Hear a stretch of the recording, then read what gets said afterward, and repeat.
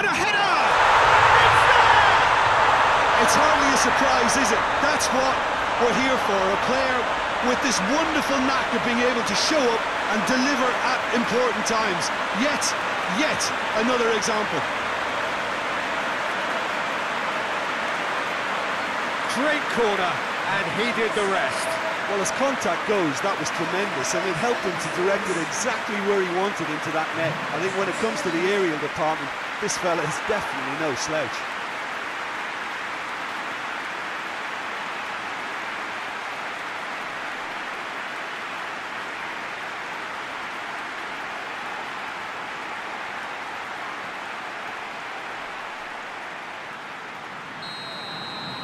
Well, that is... Uh